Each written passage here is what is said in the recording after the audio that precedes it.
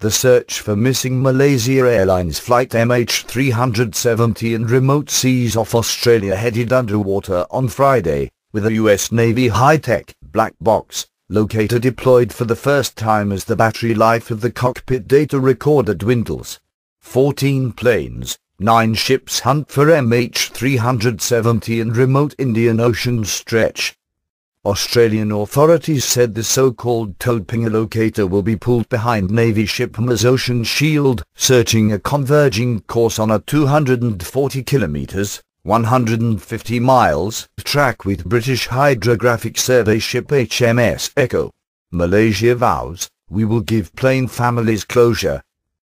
The area of highest probability as to where the aircraft might have entered the water is the area where the underwater search will commence, Retired Air Chief Marshal Angus Houston, the head of the Australian agency coordinating the operation, told reporters in Perth.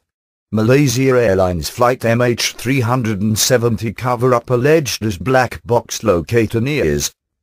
On best advice the locator beacon will last about a month before it ceases its transmission so we're now getting pretty close to the time when it might expire.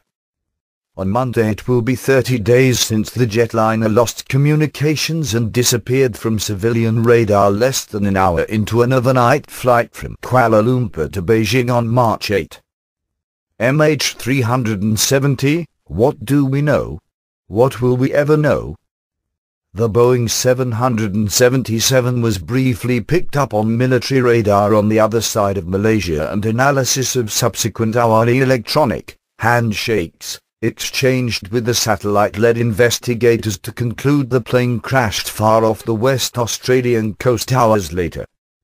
Sonar may help find the plane's black box voice and data recorders that are key to unlocking what happened on the flight.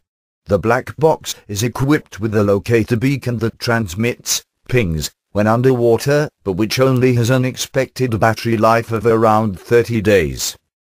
Experts have warned the towed pinger locator may be of little use unless investigators can get a much better idea of exactly where the plane went into water, because its limited range and the slow speed at which it must be pulled behind the ship mean it cannot cover large areas of ocean quickly.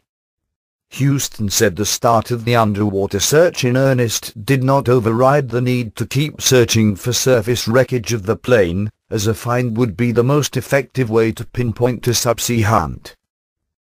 This is a vast area, an area that's quite remote. We will continue the surface search for a good deal more time, he said. I think there's still a great possibility of finding something on the surface, he said. There's lots of things in aircraft that float. In previous searches life jackets have appeared which can be connected to the aircraft that was lost huge search area. On Friday, up to 14 planes and 9 ships were scouring the search area of about 223,000 square kilometers, 86,000 square miles, roughly the size of the U.S. state of Minnesota, some 1,680 kilometers, 1,040 miles, west-northwest of Perth, he said. Britain is also sending HMS Tireless, a Trafalgar-class nuclear submarine with sonar capabilities and a Malaysian frigate was due to arrive in the search area on Saturday. Malaysian Prime Minister Najib Razak on Thursday joined his Australian counterpart Tony Abbott in a tour of RAAF Base Pearce, near Perth, where aircrews from seven countries have been flying dozens of missions deep into the southern Indian Ocean.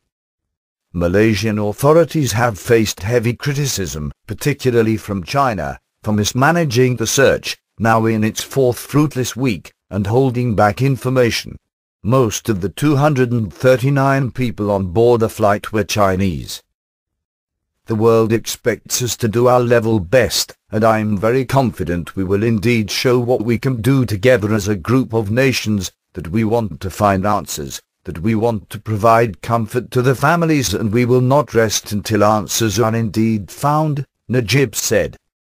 Authorities have not ruled out mechanical problems as causing the disappearance, but say all the evidence suggests the plane was deliberately diverted from its scheduled route.